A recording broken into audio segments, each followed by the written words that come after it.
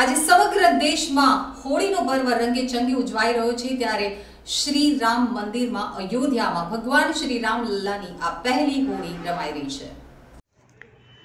National botanical research ઇન્સ્ટિટ્યૂટે કાચના ફૂલોમાંથી ભગવાન માટે ખાસ ગુલાલ બનાવ્યો છે. તે જ સમયે મંદિરના મુખ્ય પૂજારી સત્યેન્દ્ર દાસે કહ્યું કે રામલલ્લાને કચોરી, ગુજિયા, ખીરપુરી અને અન્ય વાનગીઓ ચડાવવામાં આવશે.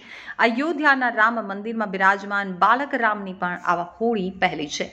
રવિવારે ચોવીસ માર્ચે ઉજ્જૈનના મહાકાલ મંદિરના પ્રાંગણથી હોળીની શરૂઆત થઈ હતી. તો દેશભરમાં સાંજથી મોડી રાત સુધી હોલિકા દહનની ઉજવણી કરવામાં આવી હતી. ભદ્રકાળના કારણે ઘણી જગ્યાએ હોલિકા દહન રાત્રે અગિયાર વાગ્યા પછી કરવામાં આવ્યું હતું. બિહારમાં આવતીકાલે છવ્વીસ માર્ચ અને મંગળવારે હોળીની ઉજવણી કરવામાં આવશે. ફાલ્ગુન શુક્લ પૂર્ણિમાને બે દિવસ બાકી હોવાથી આવી સ્થિતિ સર્જાઈ છે. ચોવીસમીએ હોલિકા દહનના એક દિવસ પછી છવ્વીસમીએ હોળીની ઉજવણી કરવામાં આવશે. તો હોળીની પૂર્વ સંધ્યાએ વડાપ્રધાન નરેન્દ્ર મોદીએ દેશવાસીઓને હોળીની શુભેચ્છા પાઠવી હતી. આ દરમિયાન રક્ષામંત્રી રાજનાથ સિંહે લેહમાં સૈનિકો સાથે હોળીની ઉજવણી કરી હતી.